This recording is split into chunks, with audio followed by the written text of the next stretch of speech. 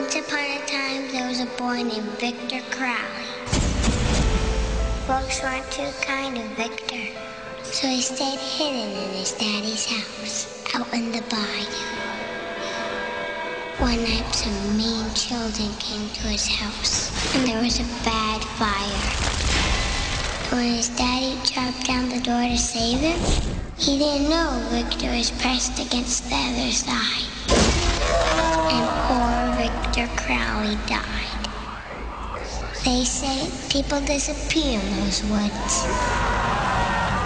And legend has it, if you get close enough to the old Crowley house at night, you can still hear Victor Crowley roaming in the woods, crying for his dad.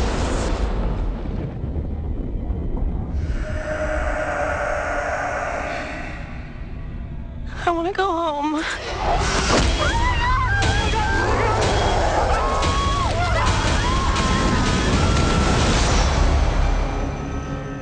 We're all gonna die.